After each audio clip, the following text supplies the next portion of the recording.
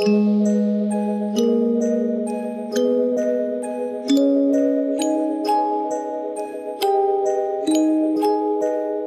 story of Masquerade is the story of the moon falling in love with the sun. She knows that she can't get to the sun, so she sends her pet hare, Jack Hare, to the sun with an amulet to tell the sun a riddle, and the answer to the riddle is that she loves him. And Jack has to take off on this sort of universal celestial journey in order to deliver this riddle of love to the sun.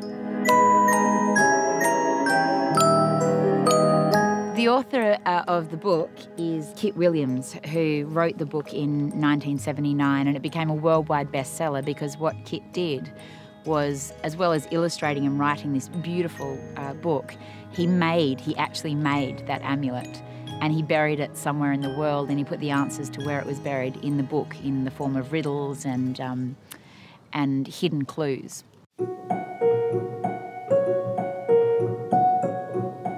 Around the time the book was published, I was in hospital in a children's oncology ward um, with cancer. And my godmother brought in the book and she put it in my hands and she said, Let's read it. And it, it's so vibrant and the, the story within is so unique and odd and funny and deals with universal issues that for a child who is stuck in a, a stark, cold children's um, oncology ward. It was a means of escape for everyone, for me, for my godmother, for my parents. And I dreamed that I'd find the real amulet one day. But uh, I got more than that. I got the permission from Kit to turn this into a play, as long as it included my story from being an unwell child, and it also was a play that was for nine to 90 year olds. How you feeling, Joe? Much better. I'll be glad when the sun's up. Likewise. We're going to find his jewel for him. Do you hear that, sir? My name's Tessa.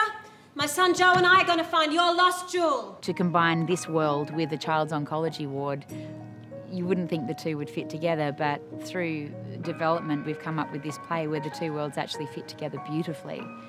And Kit, he's even kind of written a scene himself for the play, so there'll be a brand new piece of Kit Williams' work inside the play, as like almost a hidden gem. when you get given um, someone's blessing to step into this world, you need a really a good team around you to, to assist with that. And Sam Strong, who at the time was artistic director at Griffin, has backed it all the way. And then, of course, we get our amazing cast and crew from all over the country. So it's a very Australian play, a lot of Australian creatives working on this English book.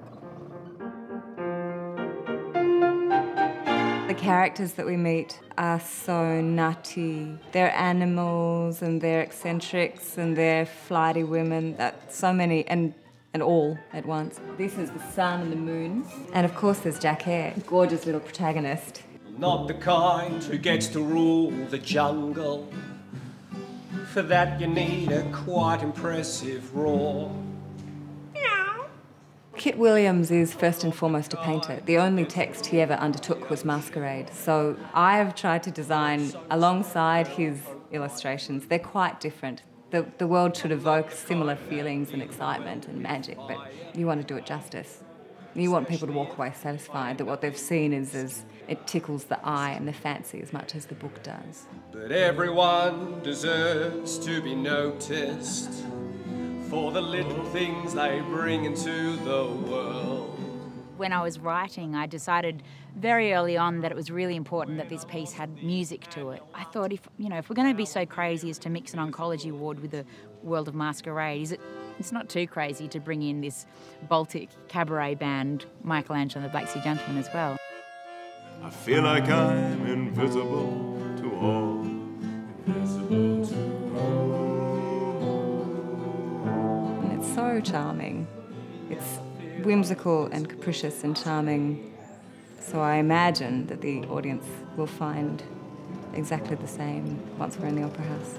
Never in my wildest dreams, you know, on a chemotherapy drip in a Perth cancer ward, did I expect that this book would become such a massive part of my life. In a way, I have the amulet itself, that this whole journey has been the amulet, and I get to polish it up and present it to Australia and also say, come and join the ride, come and join the journey because you never know what you might dig up.